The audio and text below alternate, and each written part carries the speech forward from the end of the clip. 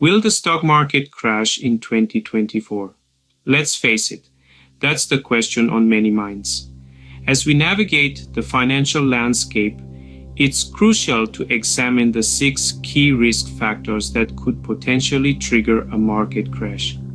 From overvalued stocks and confusing market benchmarks to the rising consumer angst, persistent inflation, soaring US government spending, and the precarious position of big technology stocks, each plays a pivotal role in shaping our financial future.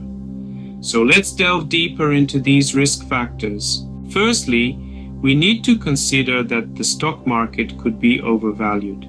Now, let's delve into what that means.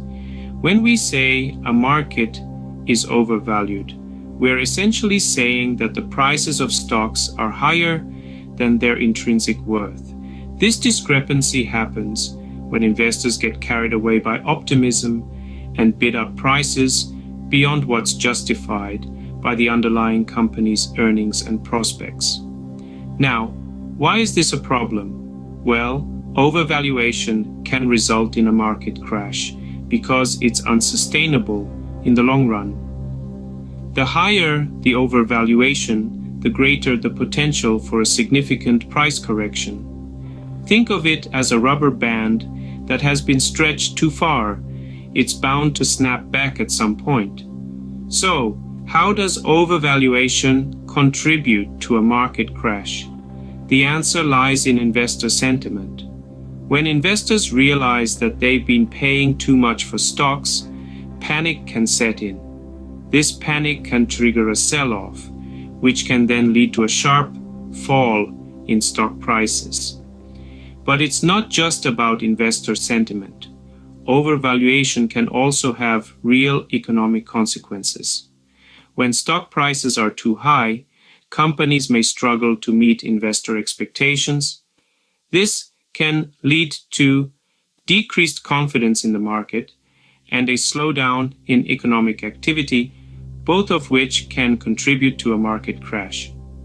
Therefore, overvaluation is a significant risk factor to keep an eye on. It's like a ticking time bomb, and it's only a matter of time before it goes off. So it's crucial for us to monitor the market's valuation levels and adjust our investment strategies accordingly. Secondly, key market benchmarks are causing confusion. You see, market benchmarks play a pivotal role in the financial world. They serve as reference points, helping investors make informed decisions. They are the yardsticks that measure the performance of portfolios, funds, and even the market as a whole. However, these benchmarks can sometimes be misleading, leading to confusion and potentially contributing to market instability. For instance, consider a situation where a particular benchmark index is performing exceptionally well, but the broader market isn't reflecting this positive trend. This discrepancy can create a false sense of security among investors who may believe the entire market is doing well, when in reality, it could be on the brink of a downturn.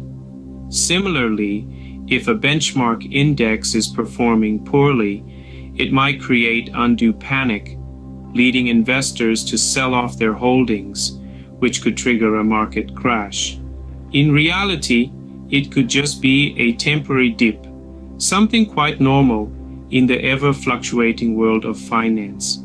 The confusion intensifies when different benchmarks tell different stories. One might be soaring while another is plummeting.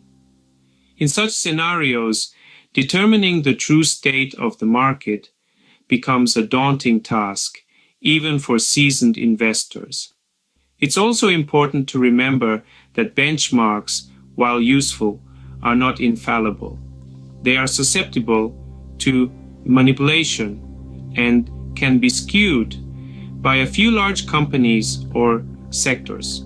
Therefore, relying solely on them for investment decisions can be risky. As such, confusion caused by key market benchmarks is another risk factor. Thirdly, consumer angst is on the rise. The pulse of the stock market often beats in sync with the rhythm of consumer sentiment. When consumers are optimistic and confident, they spend more, they invest more, and this fuels economic growth. The stock market in turn responds positively.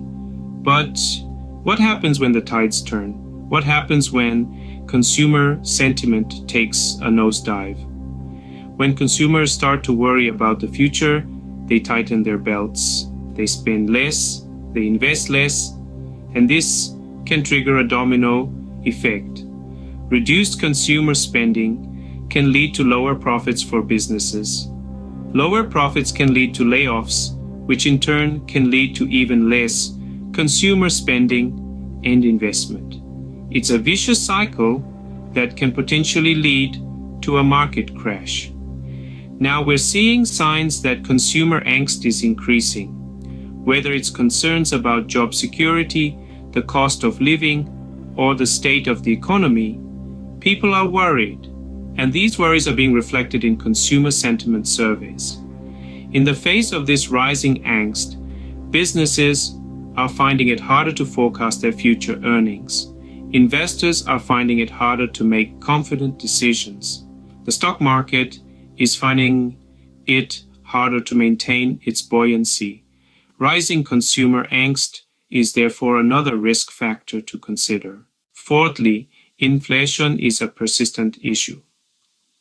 Inflation, as many of us know, is the rate at which the general level of prices for goods and services is rising.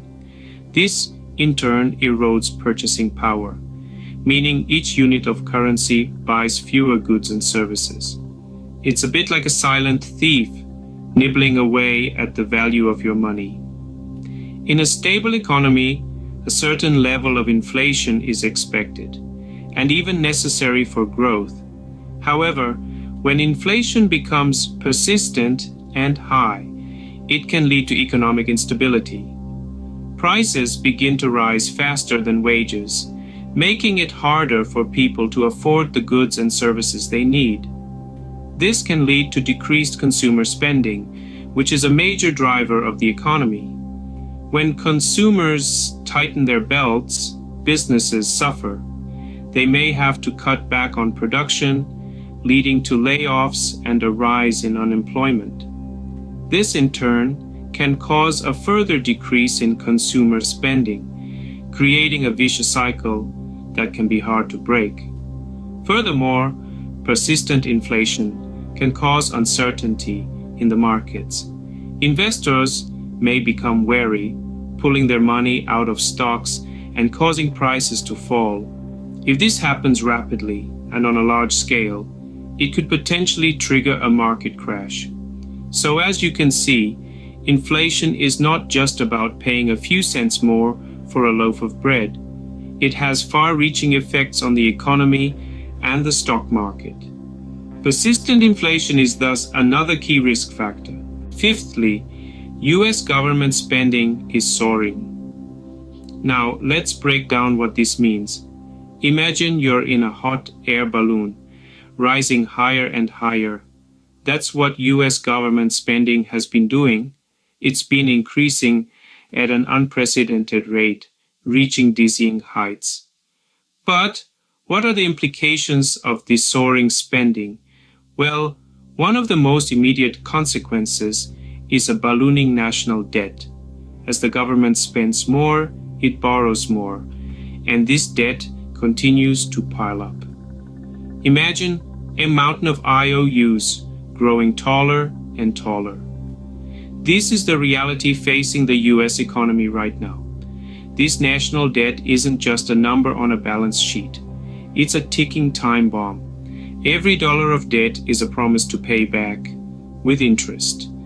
That's money that will have to come out of future budgets, putting pressure on government finances for years, even decades to come. Now, let's connect the dots to the stock market. As the government's financial health deteriorates, it creates economic instability. Investors become nervous. they begin to question the government's ability to manage its finances, and this uncertainty can lead to market volatility. And we all know what happens when the stock market becomes volatile. Prices can swing wildly, and in a worst case scenario, this can trigger a market crash. Soaring US government spending is therefore a significant risk factor. The hot air balloon keeps rising, but remember, what goes up must eventually come down. Lastly, big technology stocks need to maintain their position. These behemoths of the investment world hold a vast sway over the overall health of the stock market. Think about the FANG stocks Facebook, Amazon, Apple, Netflix, and Google. These companies are not just market leaders, but trendsetters, shaping the direction of the entire tech sector. When these giants are thriving, the stock market tends to follow suit. But should their stocks falter, the ripple effects can be felt across the entire market. Investors institutional and retail alike, often look to these stocks as a barometer of market health. So, a dip in their performance can trigger a wave of market pessimism, potentially leading to a wider sell off. One might ask, why would these titans falter? Several reasons can be attributed.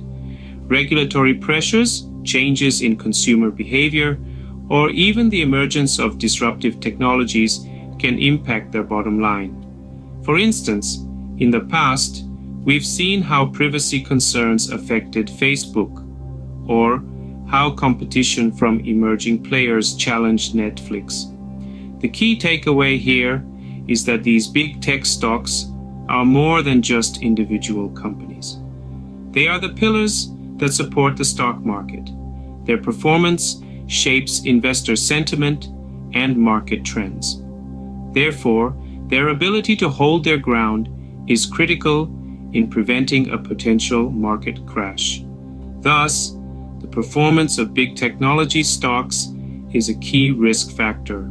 In conclusion, these six risk factors present potential challenges for the stock market in 2024. The first issue, overvaluation, is a clear sign of bubbles that could burst. Then we have key market benchmarks causing confusion, creating a cloudy forecast for investors. A third concern is the rising consumer angst, a direct reflection of people's confidence or lack thereof in the market. Inflation, the fourth risk, is stubbornly persistent, gnawing at the real returns of investments.